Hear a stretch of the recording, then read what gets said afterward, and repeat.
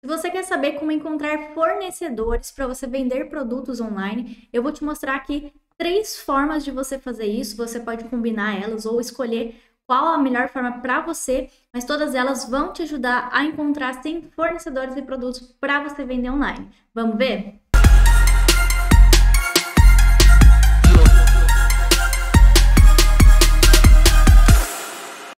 Eu listei aqui essas três formas e logo a primeira forma é a forma como eu comecei. E eu gosto muito dessa forma aqui de trabalhar porque ela facilita muito o processo. Então, quando eu comecei a vender online, né, eu larguei lá do meu serviço público para poder empreender e vender produtos online, viver disso, né, como eu vivo hoje. Eu não tinha loja física, eu nunca tinha vendido produtos antes na vida, então eu precisava encontrar uma maneira, né? Eu não tinha contato de fornecedor nenhum, precisava encontrar uma maneira de ter produtos à disposição, ao passo que eu não podia arriscar muito o dinheiro que eu tinha em produtos que eu não sabia se ia vender em, em, em um fornecedor só, porque seria muito arriscado. Então o que, que eu fiz? Procurei lojas próximas a mim. Por que, que isso daqui, até hoje, enquanto eu gravo esse vídeo, é uma das maneiras que eu indico muito principalmente para iniciantes, mas não só para iniciantes, porque isso daqui te permite explorar produtos diversos. O que, que significa isso? No meu caso, eu fui até uma loja que havia sido aberta ali perto da minha casa e eu vi quais os produtos que ela tinha à disposição. Eu anotei esses produtos, eu peguei preço e aí chegando em casa, eu anunciei esses produtos. Isso daqui me ajudou muito para que eu pudesse então explorar esses produtos sem que eu tivesse o risco do estoque. O risco todo de estoque era daquela pessoa que tinha aberto aquela loja física, não era meu. Né? Lógico que eu havia pedido né, permissão para poder saber dos produtos e preços, falei que eu ia vender online sem problema nenhum. Então, o que eu fiz para começar foi uma espécie aqui de dropshipping, mas não chegou a ser dropshipping porque eu mesma, né, quando eu vendia, eu ia lá, buscava e levava até os correios. Então, eu, eu fazia esse envio, né? O drop é o próprio fornecedor que faz o envio. Mas eu utilizei isso daqui a meu favor. E um detalhe muito importante: essa loja era uma loja física vendendo a varejo e no máximo eles me davam um desconto para que eu pudesse ser competitiva. Mas o que, o que eu quero dizer aqui é que se você é daquelas pessoas que pensam que somente agora as grandes importadoras ou só as fábricas se conseguem vender online, esse vídeo não é para você ir nem esse canal, porque eu não sou importadora, eu não sou atacadista, eu não tenho loja física. Eu comecei com preços de varejo e o que fez total diferença é a forma como eu, eu aprendi a anunciar, eu aprendi através do meu anúncio a convencer um cliente, eu aprendi através do meu anúncio a entender como que o marketplace que eu estava trabalhando, no caso o Mercado Livre, funcionava. Eu aprendi isso e foi o que fez com que o Mercado Livre entregasse meus anúncios e que eu convertesse o máximo de pessoas possíveis que estavam vendo no meu anúncio para que elas comprassem. Então, todo esse conjunto fez com que eu até hoje viva de e-commerce, né? Eu aprendi a de fato a trabalhar com isso sem ser importadora atacadista, sem ter começado com essas empresas também. E aqui eu não coloco apenas também essas lojas, né, é, a varejo que eu tô falando para você, mas pode ser também que você tenha perto de você ou perto ali da sua região fábricas. Então aqui eu vou até colocar, ó, se você tiver perto de você Fábricas, empresas que produzem alguma coisa é ótimo, porque vai reduzir o frete, porque está perto de você, às vezes eles nem cobram frete, dependendo. É uma fábrica que está produzindo, então você corta intermediador entre a fábrica e você direto. Isso tudo ajuda, né? Quando você tem fábricas perto de você. E pode usar isso a seu favor. É, no caso aqui da minha cidade, eu tenho fábrica de quadros, fábrica de vasos, fábrica de velas, tem várias fábricas que eu poderia utilizar para poder vender também os produtos delas. Já na segunda forma é usando o Google, só que usando o Google da maneira correta. Eu não vou simplesmente falar para você, olha, entra no Google, pesquisa aí. Não é só isso. Você precisa aprender a pesquisar no Google. E, e isso eu vou te ensinar agora. Então, nesse momento, você não pode sair desse vídeo porque eu vou te mostrar muitas informações que você pode extrair de forma gratuita somente utilizando o Google, tá? Aqui mostrando rapidamente, utilizando um site também, a gente encontra sites que reúnem alguns fornecedores, esse daqui é um exemplo. É, eu pesquisando aqui, por exemplo, ó, eu quero encontrar um fornecedor de vaso. Ele me dá alguns resultados aqui. Entrando nesses dois primeiros aqui, ó, é, esse primeiro aqui, eu já vejo que ele é uma importadora, então aqui eu consigo ver quais os produtos dessa importadora, mas pelo que eu vi aqui não tem nada a ver com vaso, então já descarto ela. O segundo já é exatamente do que eu estou procurando, são vasos mesmo, ele tem todo um catálogo dessa área, né? Então ele já me deu aqui o que eu estou buscando, um fornecedor de vasos. Eu já tenho aqui o contato do WhatsApp e posso entrar em contato, perguntar tudo que eu preciso perguntar.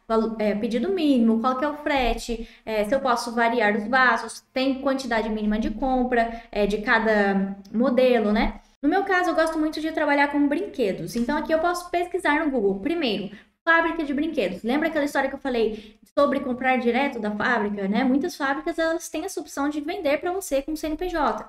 Então, eu tenho aqui se eu pesquisar no Google fábrica de brinquedos, eu consigo alguns contatos de fábrica. Logo aqui na, no patrocinado, eu consigo ver aqui, ó, compre direto da fábrica, né? E eu posso entrar nela aqui. Essa outra aqui eu conheço, já comprei também. É, você tá vendo que o pedido mínimo é mil reais.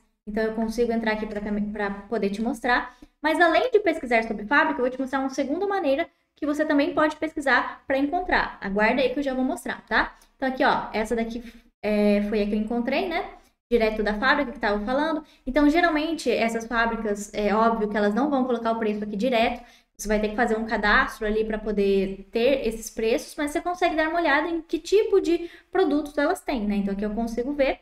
E essa outra que eu falei que eu conheço também, tá aqui. É, ela não vende só brinquedo, né? Eu gosto também quando varia as opções. Você encontra não só brinquedos, mas também utilidades domésticas e tudo mais. Então você consegue variar bastante o seu nicho, se você quiser, não trabalhar somente com brinquedos. Mas a segunda forma é uma forma bem interessante também, você pode colocar assim, ó, exposição de brinquedos e coloca aí o ano, por exemplo. Aqui eu já encontro, ó, feira dos grandes, das grandes fábricas, das grandes importadoras atacadistas, elas geralmente participam de feiras de exposição. Então, quando eu entro dentro é, de algum uma feira, um site de uma feira, geralmente eu consigo ver quais são os expositores, quais são as empresas que estão indo nessas feiras para poder mostrar os brinquedos que elas vendem e vender para você que é lojista. Então, aqui eu já tenho uma lista das fábricas, das, das, importadoras e atacadistas dessa área que eu quero trabalhar, que é brinquedos. Então, aqui eu já consigo, né, pegar o contato de cada uma delas para poder, ó, deixa eu ver se o botão aqui já vai, ó, já vai direto para o site da expositora. Então, já consigo ver e, e escolher, né, os produtos que eu quero trabalhar e entrar em contato para saber mais. Então, aqui eu já tenho uma lista enorme de fornecedores que eu posso utilizar na minha empresa. Então, essa foi a segunda forma de que é utilizando o Google a nosso favor, pesquisando da forma correta. Você percebeu? Eu pesquisei por fábrica, eu pesquisei por feira. Eu nunca vi é, ninguém mostrar isso aqui, né? Como que você realmente pesquisa no Google? Não é simplesmente vir, é, entrar no Google e falar, ah, olha, é, fornecedor de brinquedo. Pode ser que você ache, mas existem outras maneiras. E é exatamente isso que eu gosto de mostrar aqui nesse canal, né? Coisas que pouca gente está falando. Então, se você não é inscrito nesse canal, já se inscreve, porque aqui tem vários vídeos nesse estilo aqui, tá? Então, se você está gostando, já se inscreve se não é inscrito e já curte esse vídeo, tá bom? Essa marca também apareceu ali, é uma marca que eu já conheço de brinquedos. Eu revendo esses brinquedos aqui, então sei que você consegue sim, dessa maneira, vender produtos dentro de marketplace e viver disso se você quiser. Eu tô te mostrando aqui, ó, uma, uma empresa que eu já conheço, eu conheço os preços e sei que você tem margem, né? Então, mais uma vez, se você acha que só comprando lá da China que você vai conseguir colocar dinheiro no bolso, sinto muito te informar, mas isso daí é uma desculpa para não fazer o que tem que ser feito ou para não adquirir conhecimento que você precisa para fazer o que precisa ser feito, ou para não querer nem tentar, ou enfim, né? Agora eu vou te revelar aqui essa outra forma que eu coloquei como bônus, né? Uma quarta forma aqui, que é você se atentar a sites de distribuidoras. Então, por exemplo, esse site aqui é uma loja de atacado. E eu gostei desse produto aqui. Se eu quiser, eu posso me atentar também à marca que esse site de atacado está revendendo. Então, esse atacado aqui, ele está vendendo produtos dessa fábrica aqui, Minas Rei. Eu já vendi também produtos da Minas Rei e comprava direto com eles da fábrica. Então, nesse caso, eu posso, vendo aqui no site do atacado, também perceber qual é a marca do produto que ela está vendendo para eu entrar em, em, contato direto com aquela fábrica. Eu posso fazer isso. Então, atente a isso que você encontra também fornecedores dentro de sites de atacadistas e distribuidoras, tá? Terceira forma, eu posso usar o próprio marketplace a meu favor. Toda vez que eu entro num produto aqui dentro do Mercado Livre, por exemplo, ele tem nessa parte aqui a marca. Na, na Amazon também tem, então até, pode ser que você encontre fornecedores dentro do marketplace. Nesse caso aqui, não é a marca real desse produto aqui. Como que eu sei disso? Porque olhando aqui é o mesmo nome do vendedor. Então não é realmente a marca, a fábrica ou o atacadista que ele está comprando. Geralmente a gente faz isso, eu faço isso também como vendedora. Eu não coloco qualquer marca justamente para que as pessoas não encontrem, né, qual é o meu fornecedor por aqui. Mas tem gente que não se atenta a isso ou não liga para isso. Então é o caso desse aqui, por exemplo. Ele tem a marca aqui. E aí eu posso pegar o nome disso aqui, jogar no Google, ver se eu encontro qual que é a fábrica, qual, qual que é a empresa que vendeu esse produto aqui. E por último, esse segundo bônus que eu vou te dar aqui é esse vídeo daqui, onde eu mostro para você também uma outra forma de encontrar fornecedores. Eu mostrei nesse vídeo que está aqui do lado. É uma forma que eu não apresentei aqui nesse vídeo, então vale a pena assistir, tá? E vou deixar esse outro vídeo aqui também de indicação para você ver como que faz a análise, né? Encontrou a fábrica, encontrou o preço do produto, para ver como que faz a análise dentro da Amazon, por exemplo, para saber se você vai ganhar realmente dinheiro, descontando todas as, as, taxas e tudo mais. Na descrição que também vou deixar o vídeo de como você faz essa análise no Mercado Livre, tá bom? Um grande abraço, espero ter te ajudado e até esses vídeos então.